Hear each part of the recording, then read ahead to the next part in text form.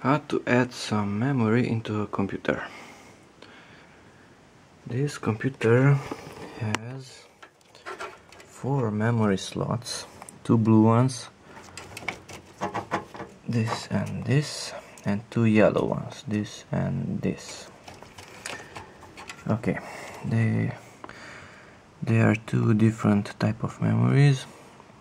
One is DDR DDR2 and the one the other one is DDR3 the yellow one is the slower one DDR2 and the blue one is the DDR3 and they are supported separately. So that means that you can't put DDR2 and DDR3 in the same time. You must use them separately.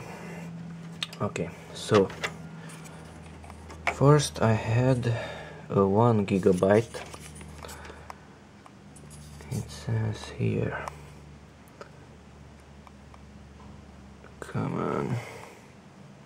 It says 1 gigabyte and is DDR3 at 100 and 600 1600 megahertz. Okay so DDR3 is the blue slot. Let's put this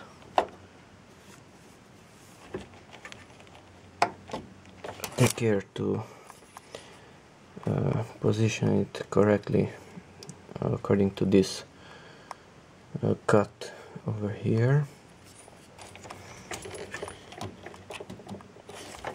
This little piece has to enter that cut on the memory and put the ends there and push one end and the other end.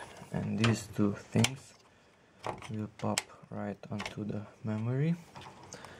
Okay this is one gigabytes and we'll add another four gigabytes. Also DDR3 at 1600 megahertz. This one doesn't have a radiator on it but it's working fine and this also has to be inserted on the blue slot.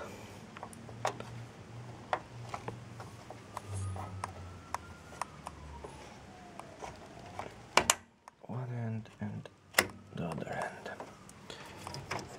Okay. And there you go. Two memory modules inserted into the computer. That's it. Bye-bye.